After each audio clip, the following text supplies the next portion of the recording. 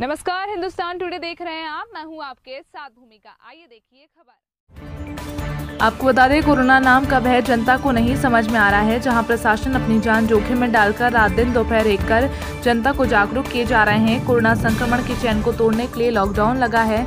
इसके सिवाय और कोई रास्ता नहीं है। जब तक जनता एक दूसरे के संपर्क में नहीं आएगी, कोरोना संक्रमण नहीं फैल पाएगा। लेकिन नासमझ जनता के कारण प्रशासन पर उंगलियाँ उठाना एक विषय बन चुका है। वहीं प्रशासन का कहना है, यदि अब जनता ना समझे तो हमें सख्ती से परेशान पेशा आना पड़ेगा। साथ ही कोरोना चैन को किसी भी हाल में तोड़ने के लिए हमें जनता का सहयोग चाहिए। बालाघाट ज़िले के एसपी अभिषेक तिवारी का कहना है कि कोरोना के समस्त ज़िले में जनता के लिए गाइडलाइन बनाई गई है, जिसके चलते प्रशासन का सहयोग करें।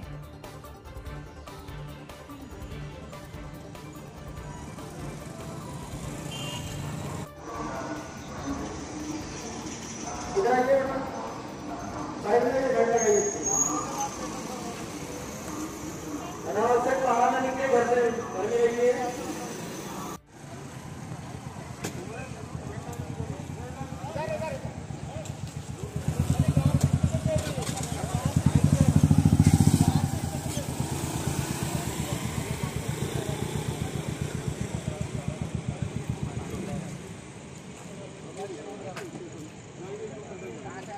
जैसे कि राशन की चीज़ें हैं, ये कई स्टोर दवाइयों को भी देंगे।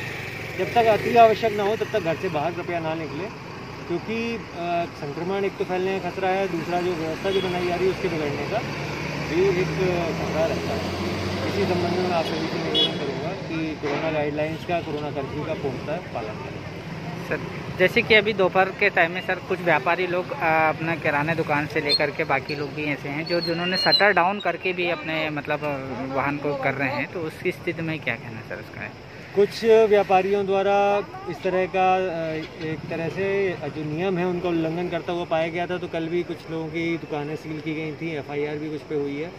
तो इस तरह की कार्रवाई हम अन्य लोगों पर भी करेंगे। देखिए, जो आपका राशन है ये आवश्यक वस्तु है, लेकिन इसको घर पहुँच सेवा के तौर पे पहुंचाना है, वरना किसी को दुकान तक पहुँचा के, किसी को दुकान पर ला के वहाँ पर बिक्री नहीं करनी है, ये क्लियर गाइडलाइंस है। और इसी का पालन करना है। और इसके अलावा चेतावनी भी लोगों को दी गई है, वरना कल परसों से फिर हम लोगों को इस तरह में लोगों को, कुछ लोगों को एक सौ इक्यावन में फिर जेल भी भेजना पड़ेगा।